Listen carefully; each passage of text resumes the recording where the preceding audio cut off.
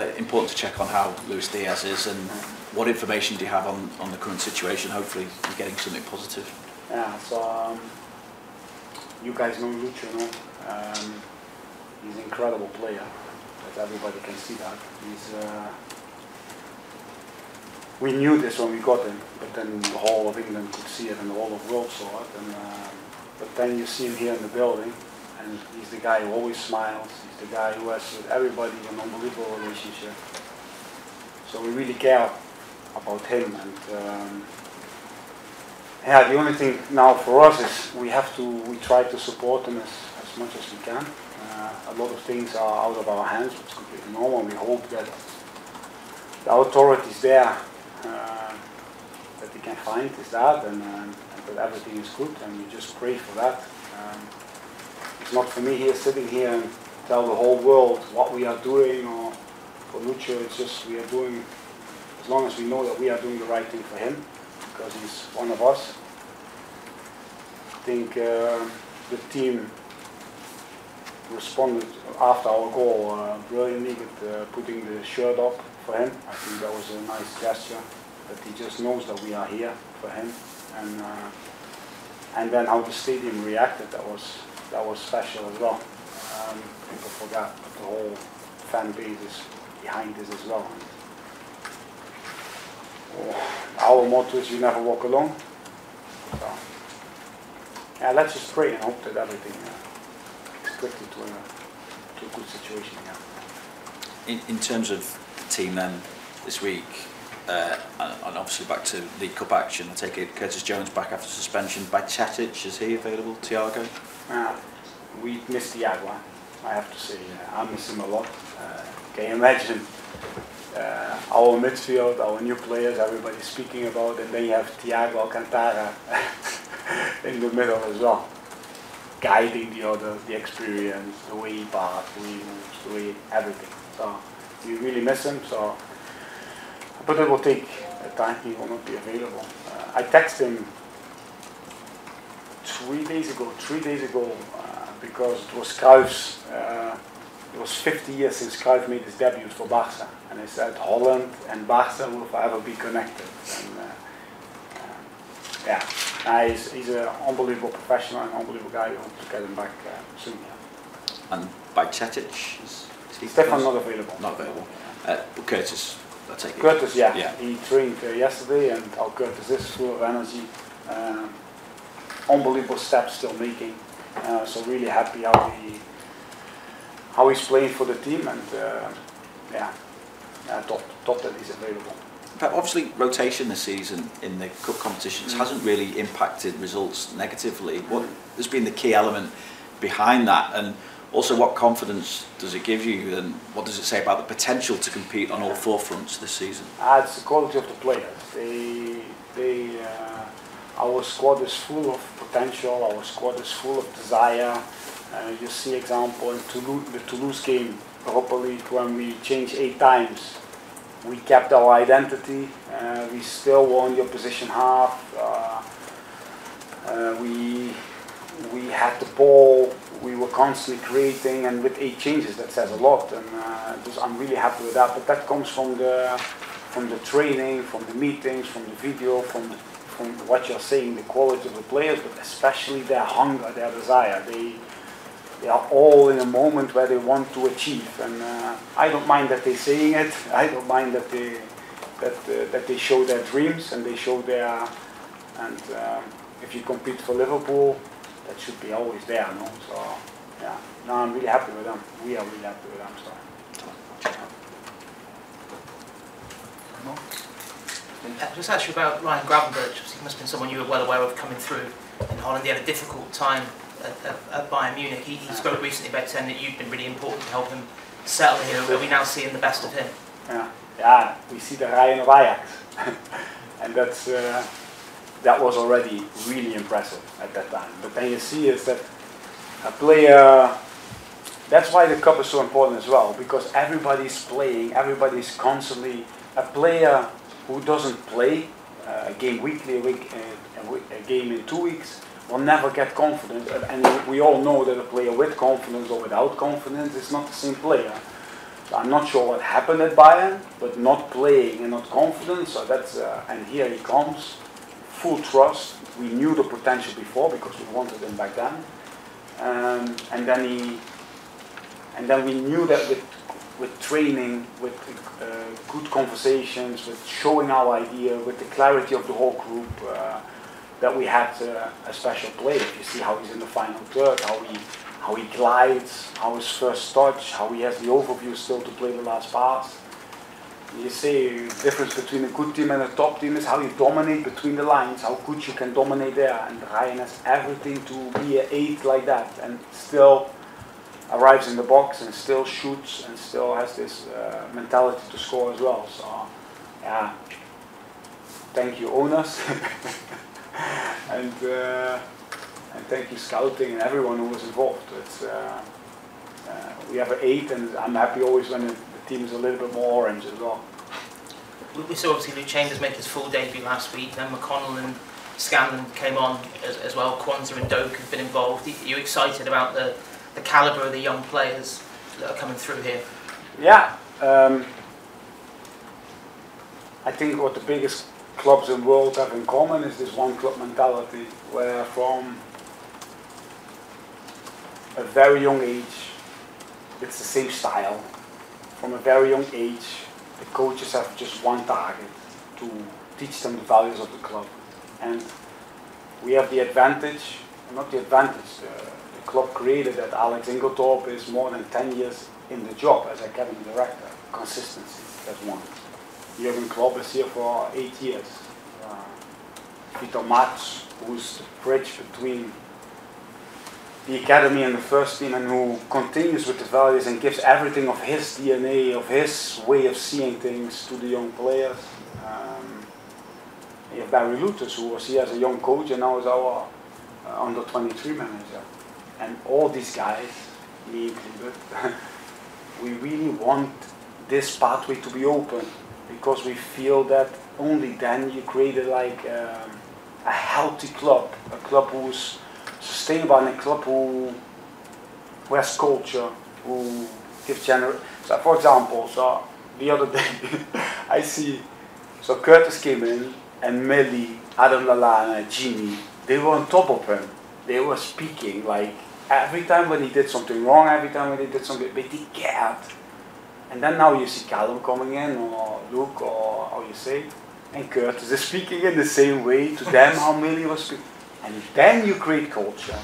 And that was a dream, and knew, we knew always it was possible. Um, but in the end, uh, we are here, and um, and uh, we all these guys I just mentioned, they believe and they want, and then you need so you need a lot of guts and a lot of um, I cannot say it here, but for for for a manager to and for the staff around to put, to trust, to give, as you know. But we believe in this process, and I, I, that's one of one of the one of the reasons why we all love working for this club because this club is much bigger than just a first team. This club is almost like an institution, in my opinion. Uh, it's um, three years next week since the first team moved to yeah. AXA. Do you think that's helped with the pathway for the youngsters and, and in how, how Yeah. what benefits do you think you've seen from amalgamating the sides? Yeah, so the the building is like uh, I- I- it, at least it showed ambition, no?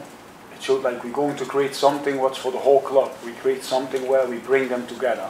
I still believe that buildings are buildings and rocks are rocks and chairs are chairs. But it's about the people who sit in it. It's about the people who control the process, who deal with the process, and the, the people I just mentioned with the consistency we have, with the game idea we have over a long time, that creates like that there's consistency in this, uh, um, and that there's a, pa- a pathway. Um, the building is brilliant. Uh, it's, a, it's, a, it's something we always wanted. It was not easy to leave Melwood behind because of the culture, because of sorry, the, the, the history and the, the feeling it got.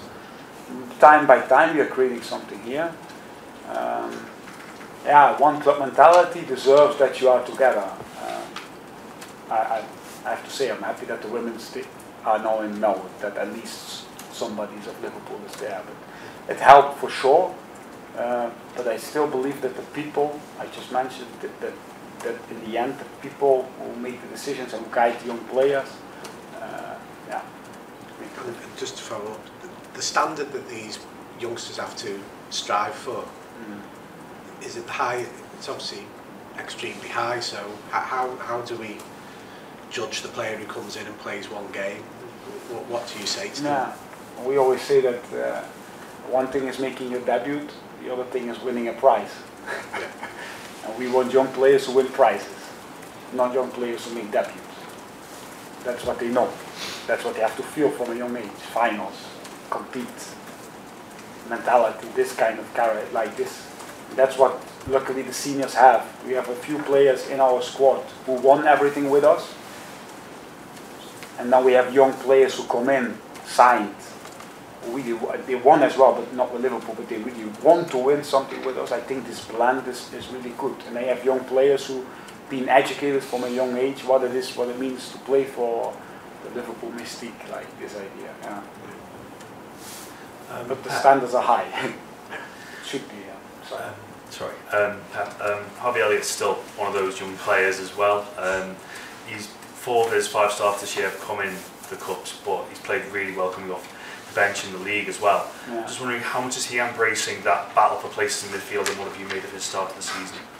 Uh, I, said, I said to Harvey probably two, three weeks ago, uh, like I never have seen him this good in training, like he was. And he was not playing at the time. That's why I spoke with him, like so, because um, I chose a lot the consistency he's coming on or starting, so it's always there. I think he's really consistent in his performance, what you just said. Uh, so that's something we wanted for him as well, from him as well, no, and that's what he feels. He acts more like a senior than you think, like the same, similar with Curtis. They are such a long time already with us, and he wants to. He has this character as well to be like that.